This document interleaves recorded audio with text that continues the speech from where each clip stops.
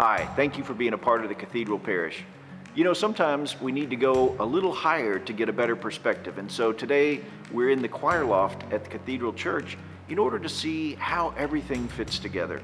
The month of January does that for us as well. As we begin this new year, we start to see that we're only two weeks away from the beginning of Lent, a season of service, sacrifice, and penance.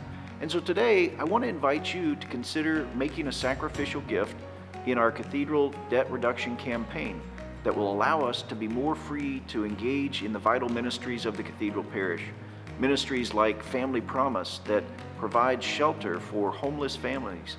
Ministries like our Haiti Outreach Program that helps us to be brothers and sisters to our parish in Haiti to provide education, health care, to lift up those who struggle in poverty, but also to be brothers and sisters in Christ.